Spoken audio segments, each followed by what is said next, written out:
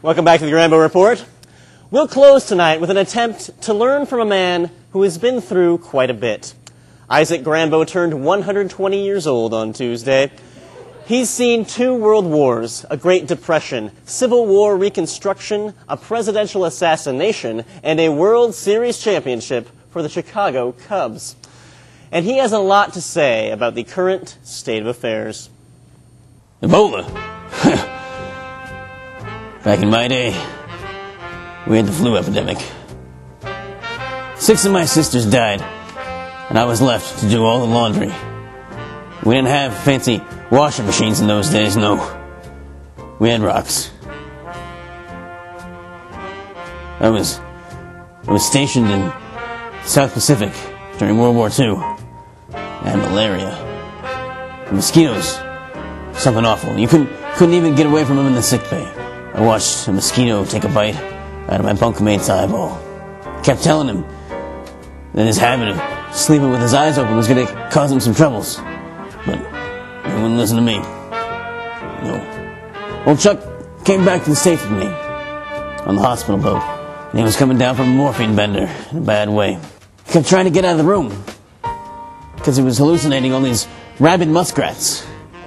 But he couldn't grab the door handle. No depth perception. One eyeball. Well, he started to panic. Ran around in circles. He ran full steam into a wall, screaming, Siddhartha, get your pants on! Well, once he hit that wall, he stopped screaming, I'll tell you that. But that's that's a horrors of war for you. tell you. I don't envy those boys over in Iraq. We had the Krauts, the Japs, and the Dagos. They all looked different.